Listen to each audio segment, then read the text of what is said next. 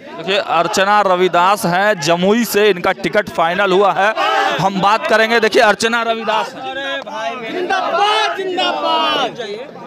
क्या बोलना चाहती मैडम आपको बस जो जो नेता हम लोग पे हम मेरे पे भरोसा दिखाए हैं उस भरोसे पे हम पूरा खड़े उतरने की कोशिश करेंगे। लालू जी ने क्या कहा? क्या मैसेज दिया लालू जी ने?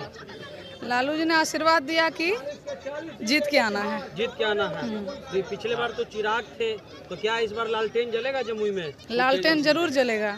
लालटेन ही जलेगा। इस बार चिराग बुझ जाएगा। नहीं है आप। कैसे उस क्षेत्र में लड़ेंगी आप नहीं नहीं है। आपको शायद जानकारी नहीं होगी। हम 2014 से और हम वहाँ की लोकल हैं वहाँ की बेटी हैं तो हम बचपन से ही वहाँ से जुड़े हैं और सब लोगों से जुड़े हैं। कितना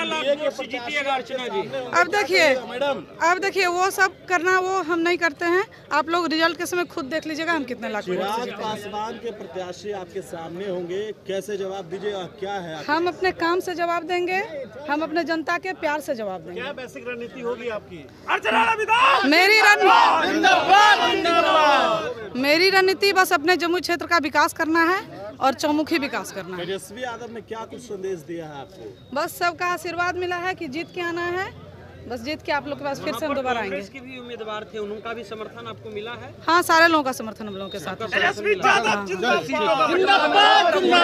सीटों का बंटवारा कब तक वो सब शीर्ष नेतृत्व तय करेंगे वो नेता तय करेंगे। बेटी भी वहाँ पे चुनाव लड़ने वाली है हम लोगों को उसकी जानकारी नहीं है वो सब नेता लोग जानते होंगे शीर्ष नेतृत्व जानते है तैयार हैं? पूरी तरह से तैयार हैं। हम जीत के आएँगे आप लोगों के पल्ला पास फिर से। वो झूठा ये नहीं दिखाना चाहते हम कि हम इतने लाख से वोट से जीत के आएँगे लेकिन हम जीत के आएँगे ये मेरा वादा है।